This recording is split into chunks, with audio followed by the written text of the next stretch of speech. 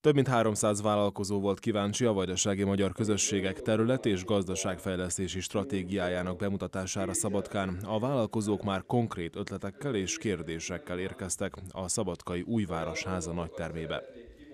A tavaszra mindenféleképpen vásárolnék valószínű, hogy egy erőgépet és csatolható eszközt is.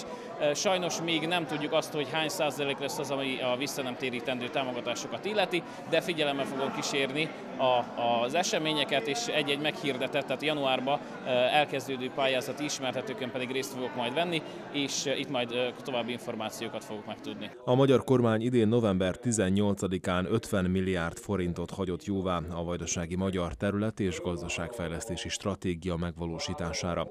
Ebből a három éves program során 20 milliárdot vissza nem térítendő támogatásként osztanak szét, a maradék 30 milliárdot pedig kedvezményes banki kölcsönökként folyósítják. Amikor az embernek azt mondják, hogy 50 milliárd forint, akkor nem tudja érzékelni, hogy az mennyi pénz. Én három példát szeretnék itt most elmondani. Ez a pénz akkora, mint az egész vajdasági költségvetés kétszer, két és fél szerese.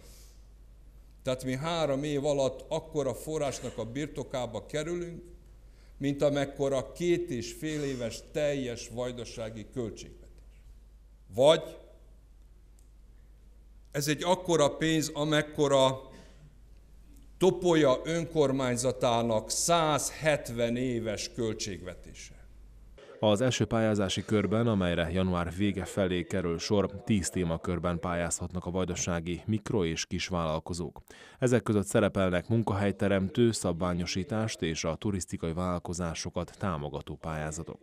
A mezőgazdasági termelők esetében az öntözőberendezések, fóliasátrak, munkagépek, tenyészállatok beszerzését és több éves növények ültetését támogatják majd. A fiatalok letelepedését is segítik, mivel januárban ők is igényelhetnek eszközöket lakás vagy házvásárlásra. Mikro és családi gazdaságoktól beszélünk, nem közép és nagy termelőkről és vállalkozásokról, tehát a mikróktól és a családi ö, ö, vállalkozásokról, és ö, és ne felejts el senki se, hogy önrészt is majd mellékelni kell. A támogatásoknál az önrész legkevesebb 15 százalék lesz. A 2016-os év folyamán 5 milliárd forintot osztanak ki több pályázati körben, az utána következő két évben pedig további 7,5-7,5 milliárdot.